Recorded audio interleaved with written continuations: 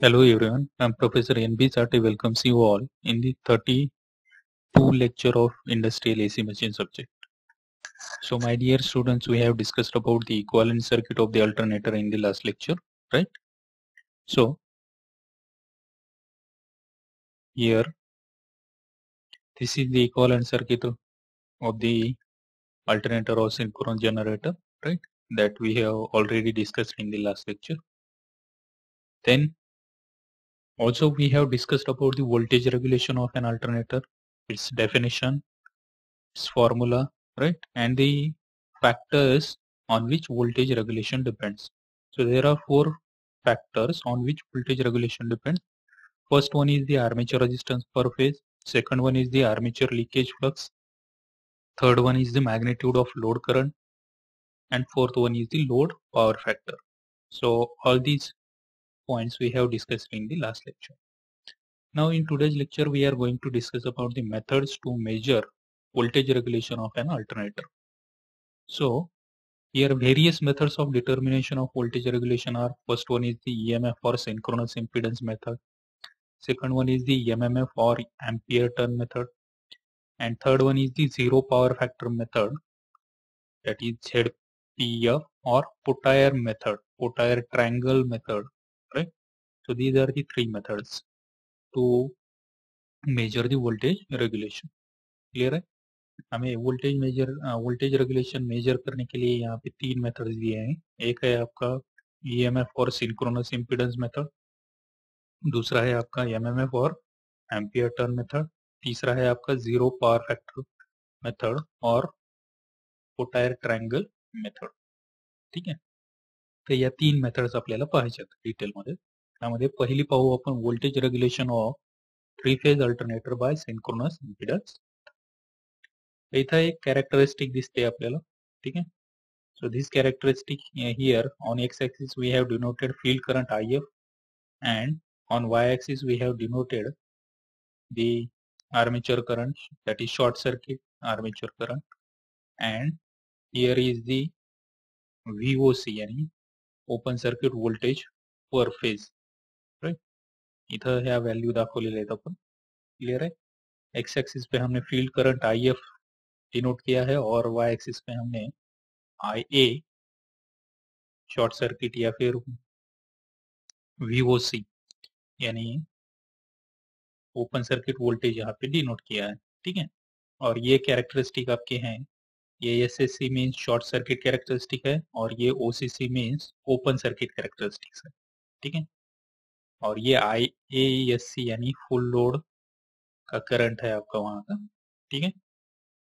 So here क्या दिया है फ़र्स्ट पॉइंट देखो plot the OCC and SCC on the same field current base as shown in the following figure यहाँ पे plot करना है अपने को ओसीसी यानी open circuit characteristic and SCC म्हणजे शॉर्ट सर्किट कैरेक्टरिस्टिक अपने को प्लॉट करने हैं सेम फ़ील्ड करंट के ऊपर. ये सेम फ़ील्ड करंट लिया है बेस में और उस पर हमें क्या करने हैं, वो ओपन सर्किट कैरेक्टरिस्टिक है शॉर्ट सर्किट कैरेक्टरिस्टिक वहाँ पे प्लॉट करने हैं, ठीक है? सेकंड पॉइंट दिया है consider field current I F यहाँ पे field current I F consider किया हमने ये, ठीक है? So, if the circuit voltage corresponding to this this field current is E1 ये जो ओपन सर्किट वोल्टेज है corresponding to this field current that is E1 ये किससे डिनोट किया अपन यहाँ पे? E1 से। ठीक है?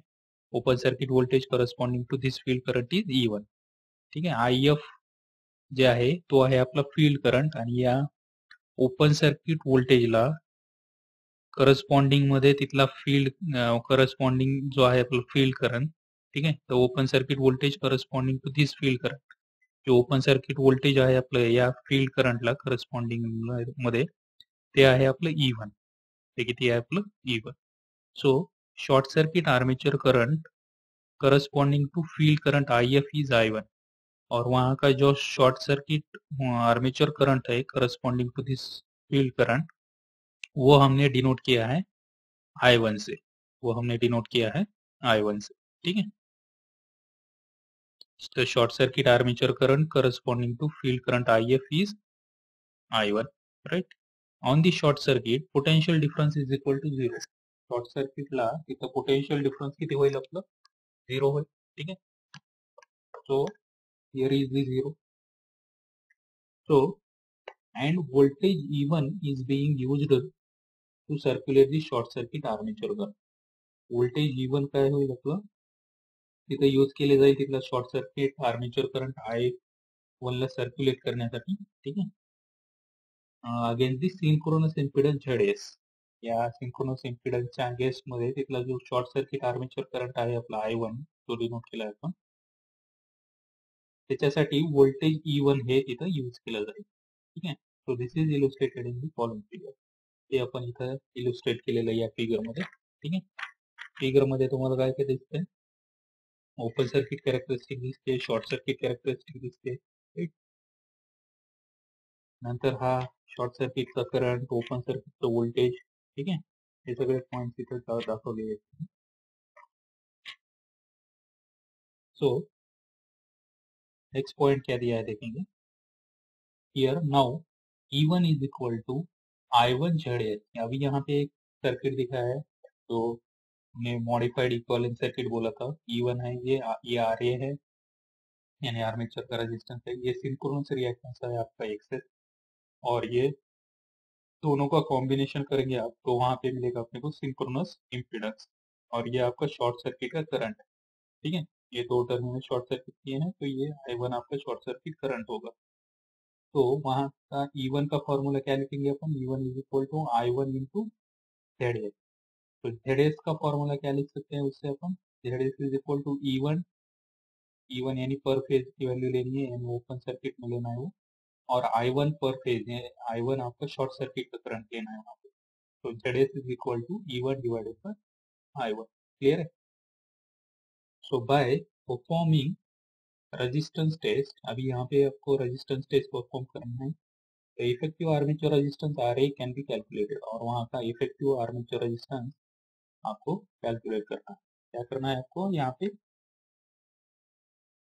रेजिस्टेंस टेस्ट परफॉर्म करनी है, ठीक है? और वहाँ का आपको आर्मीचर रेजिस्टेंस आ रही यहाँ पे कैलकुलेट करना समजलं रेजिस्टन्स टेस्ट घेऊन आपल्याला तिथला इफेक्टिव्ह आर्मेचर रेजिस्टन्स जो आहे आर ए तो तिथं कॅल्क्युलेट करायचा आणि मग सिंक्रोनस रिॲक्टन्सचा सिंक्रोनस रिॲक्टन्स आपल्याला कॅल्क्युलेट करायचे त्यासाठी फॉर्म्युला असेल आपला X S is equal to square root of Z A square minus R A square ये फॉर्मूला कैसे लिया आपने? जेड एस का फॉर्मूला क्या लिख सकते हैं अपन? R R A plus J of X तो अगर उसका मैग्नीट्यूड लेंगे अपन तो Z square is equal to क्या लिख सकते हैं अपन?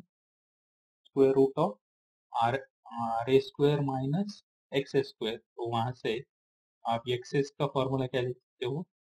Square root of Z square minus R square और यहाँ पे एक फेजर डायग्राम दिख रही है आपको, ठीक है? यहाँ पे ये देखो, ये ओ ए का ओ ए बी ये फेजर दिख रहा है आपको। यहाँ पे आई ए करंट लिया है अपन ने। और ये आई ए और वी फ़ेज़ ये दोनों फेजर में जो फ़ेज़ एंगल है, वो रहेगा आपका पाए तो वी फ़ेज़ कॉस पाए रहेगा ये वैल्यू ठीक है? ये साइड ये ट्रायंगल की ये राइट एंगल ट्रायंगल बन जाएगा आपका तो ये ये साइड आपकी वी फ़ेज़ कॉस पाए बन जाएगी और ये बन जाएगी आपकी वी फ़ेज़ साइन पाए ठीक है? बाद में वी फ़ेज़ के इसमें हमने अगर आई ए आर ए ऐड किया और I A R A and I A axis का रिजल्टंट लिया अपन ने तो अपने को मिलेगा आई ए जेड ए ठीक है? तो आणि परत याचा जर रिझल्टंट घेतला आपण आय एस एड एस आणि बी फेजचा तर तो मिळणार आहे आपल्याला ई फेजचा फेजर ठीक आहे? तर ही अशा प्रकारची एक डायग्राम इथे दाखवलेली आहे आपल्याला. ठीक आहे? तो नऊ once we know the RA and XS, the phasor diagram can be drawn for, for any load. एकदा का आपण आर ए आणि एक्सेसचा माहिती झालं फेजर डायग्राम ड्रॉ करू शकतो कुठल्याही लोडसाठी आणि कुठल्याही पॉवर फॅक्टरसाठी. So the phasor diagram for usual case of inductive load is case साठी जी फेजर डायग्राम आहे, ती वरती इंडक्टिव्ह लोड साठी शो केलेली आपली ही लोड साठी फेजर डायग्राम शो केली क्योंकि यहाँ पे वी फ़ेज़ से लैगिंग में आए करंट लिया है तो उसकी वजह से ये इंडक्टिव लोड रहेगा। the phasor diagram for usual case of inductive load is shown above. Here current IA has been taken as a reference phasor. यहाँ पे करंट IA को क्या करना है आपको? रेफरेंस फेजर लेना है। ठीक है? यहाँ पे डायग्राम में दिख रहा है आपको ये IA का फेजर हमने रेफरेंस फेजर लिया। So the E zero can be found out as वहाँ से ई ज़ीरो की वैल्यू फाइंड आउट कर सकते हैं अपन, ठीक है? ई ज़ीरो ई ज़ीरो कैसे फाइंड आउट करेंगे?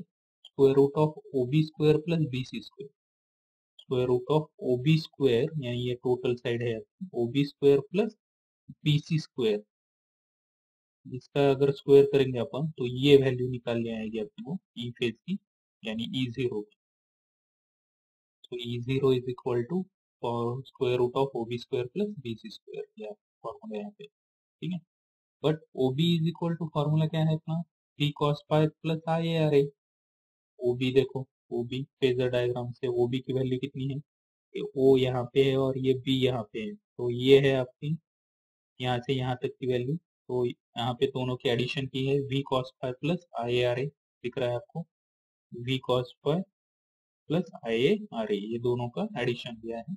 एंड बी सी की वैल्यू कैसे लिख सकते हैं अपन? बी सी की वैल्यू ये बी सी टोटल साइड है यहाँ से यहाँ तक की। तो V V sine phi plus I A X S तो यहाँ पे दिख रहा है V sine phi plus I A X S ये हो गया आपकी बी सी की वैल्यू तो ई ज़ीरो का फॉर्मूला क्या लिख सकते हैं अपन? स्क्वायर रूट ऑफ़ यहाँ पे वैल्यू पुट करो। V cos phi plus I A R A bracket square क्योंकि यहाँ पे स्क्वायर है ओ बी का। प्लस सेकंड ब्रैकेट में क्या लिखा है? V sine phi plus I A X bracket square क्योंकि यहाँ पे भी बी बी सी का स्क्वायर तो यहाँ पे ब्रैकेट का स्क्वायर लिया तो ये हो गया आपका ई ज़ीरो का फॉर्मूला यानी वहाँ का एम का पर फ़ेज़ की वैल्यू ठीक है? तो परसेंटेज वोल्टेज रेगुलेशन का फॉर्मूला क्या है अपना? E zero minus V divided by V ठीक है? तो ये इनको हंड्रेड किया तो हमें क्या मिलेगा? वहाँ पे वोल्टेज रेगुलेशन मिलेगा परसेंटेज वोल्टेज रेगुलेशन ठीक है? तो this is first method that is कौन सी थी ये मेथड अपनी? सिंक्रोनस इम्पीडेंस मेथड और it is also called as क्या नाम दिया था उसको? ईएमएफ ईएमएफ मेथड ठीक है? ईएमएफ मेथड और सिंक्रोनस इम्पीडेंस मेथड ये यहाँ तक आपको इसका एक्सप्लेनेशन लिखना है। Now we'll see second method, that is ampere turn method, also called as MMF method, इसको MMF method भी बोल, बोला जाता है, ठीक है? तो यहाँ पे भी एक कैरेक्टरिस्टिक दिख रही है आपको फ़ील्ड करंट आपका एक्स एक्सिस पे डिनोट किया है और वाई एक्सिस पे आपका short circuit current and open circuit voltage denote किया है। तो ये ओसीसी आपकी ओपन सर्किट कैरेक्टरिस्टिक है और ये आपका S C S C C S C C है आपका शॉर्ट सर्किट कैरेक्टरिस्टिक ये यहाँ तक आपका रहेगा full load short circuit current और यहाँ पे आपका रहेगा रेटेड वोल्टेज ठीक है? तो to calculate the voltage regulation the following information is required voltage regulation find out करने के लिए यहाँ पे ये इंफॉर्मेशन लगती है अपने को। आर ए क्या है अपना? Resistance of stator winding per phase OCC म्हणजे ओपन सर्किट कैरेक्टरिस्टिक आहे सिंक्रोनस स्पीडची शॉर्ट सर्किट कैरेक्टरिस्टिक आहे एस सी सी ठीक है? S C C short circuit characteristic आहे आपली for the phasor diagram phasor diagram दिसते येतो तुम्हाला ठीक है? फेजर डायग्राम में क्या किया है देखो? हियर ये ई डैश का फेजर है आपका, यहाँ पे दिख रहा है आपको देन ये ई ज़ीरो का फेजर है आपका, ठीक है? ये बी का फेजर है आपका। ये बी एंड ई डैश में एंगल है अपना अल्फ़ा और आपका ई डैश एंड बी में एंगल है ये। आई ए में एंगल है आपका फाइव ठीक है? और यहाँ पे दिख रहा है आपको ये, यहाँ पे आई आर ए ड्रॉप है, ठीक है? ये आई ए के एग्जैक्टली अपोजिट डायरेक्शन में आई एफ़ टू का फेजर लिया है, ठीक है? और ये I F two and I dash F का रिजल्टेंट लिया है यहाँ पे आई एफ़ तो ये पूरा एंगल रहेगा आपका फाइव वन और ये एंगल होगा आपका I F I dash F and ये ई डैश में का एंगल होगा आपका 90 डिग्री ठीक है? ऐसी फेजर डायग्राम यहाँ पे दिख रही है आपको। तो इसमें क्या क्या दिया देखो armature terminal voltage per phase, the armature terminal voltage per phase यानी V रहेगा अपना। ये है आपका armature terminal voltage per phase ठीक है? Is taken as a reference phasor ये अपने को reference phasor लेना, ठीक है? V का, along OA ये O है पॉइंट और ये A पॉइंट है। ये OA के along में अपने को क्या करना है? ये armature terminal voltage per phase B पर फेजर अपने को रेफरेंस फेजर लेना है ठीक है? And hence all angles with respect to the line O A और सारे एंगल क्या करने हैं अपने को, ये लाइन ओ ए के अलोंग में लेना है, ठीक है? With respect to O A line से लेने हैं सारे एंगल ठीक है? Hence all angles are with respect to line O A ठीक है? समझ ला? व्ही म्हणजे काय आपलं? आर्मेचर टर्मिनल व्होल्टेज आहे पर फ़ेज़ आहे. आणि त्याचा आपल्याला रेफरन्स फेजर घ्यायचा ओ ए अलॉंग लाईन मध्ये. आणि सगळे अँगल जे आहेत आपले मग, ते with respect to O A लाईनलाच घ्यायचे आहेत आपल्याला, सगळे अँगल ठीक आहे? देन नेक्स्ट पॉईंट दिलाय the armature current phasor I A armature करंटचा जो फेजर आहे आय ए ठीक आहे? Is drawn lagging the phasor voltage for lagging power factor angle आता हा आय चा फेजर दिसतोय तुम्हाला. आय ए हा लॅगिंग कंडिशन मध्ये घेतला या व्हीच्या ठीक आहे? व्हीच्या लॅगिंग कंडिशन मध्ये घेतला आपण ठीक आहे armature current phasor A is drawn lagging the phasor voltage for lagging power factor क्योंकि यहाँ का पावर फैक्टर भी लैगिंग है तो उसकी वजह से वी से आई आई ए कैसे लिया है यहाँ पे? लैगिंग कंडीशन में लिया है, ठीक है? और वहाँ का पावर फैक्टर एंगल कितना है आपका? पाए है, और उसकी वैल्यू है is equal to alpha plus pi ये देखो, ये अल्फ़ा एंगल है और ये पाए तो यहाँ से यहाँ तक का एंगल कितना होगा? Alpha plus pi for which the regulation is to be calculator और इसके लिए ही हम क्या करना है? रेगुलेशन कैलकुलेट करना है। ठीक है?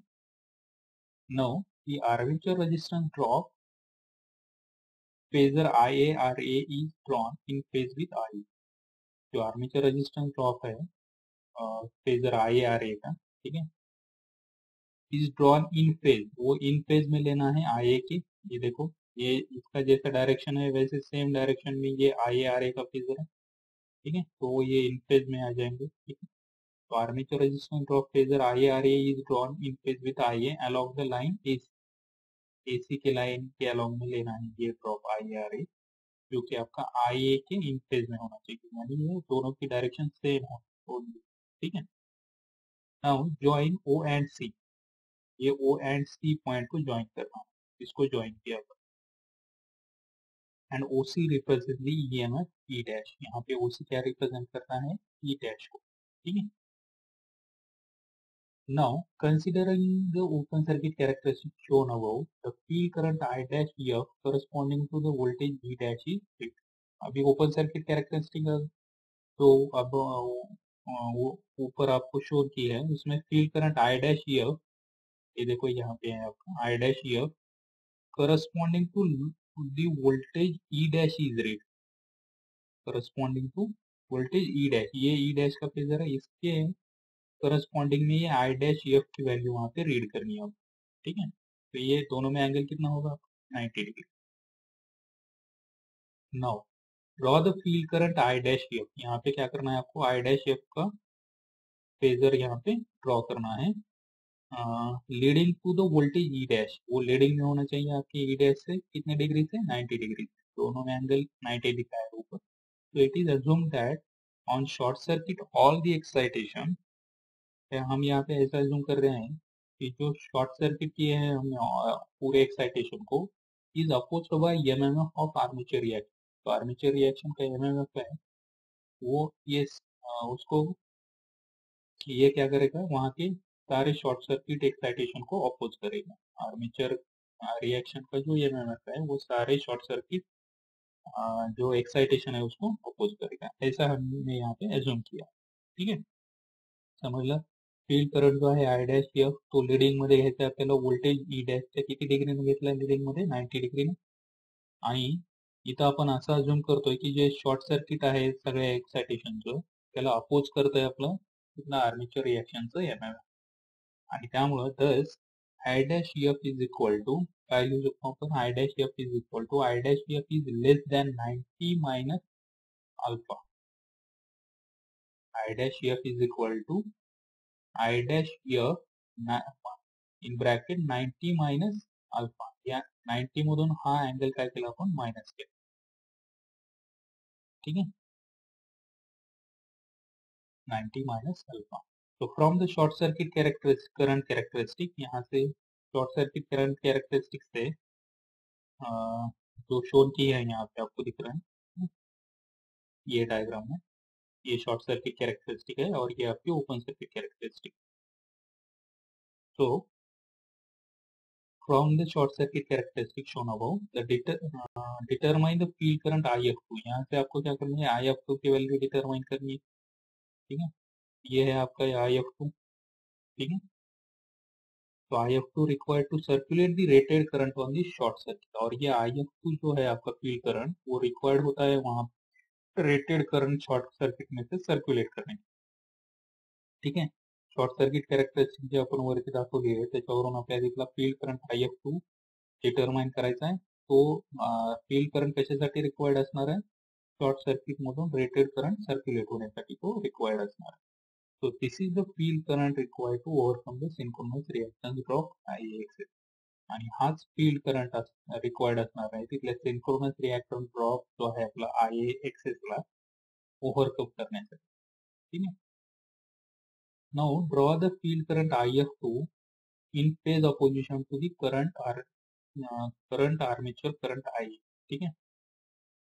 आता फ़ील्ड करंट जो आहे तो in phase in phase in opposition मध्ये घ्यायचा आहे तिथल्या आर्मेचर करंट आय एच ठीक आहे?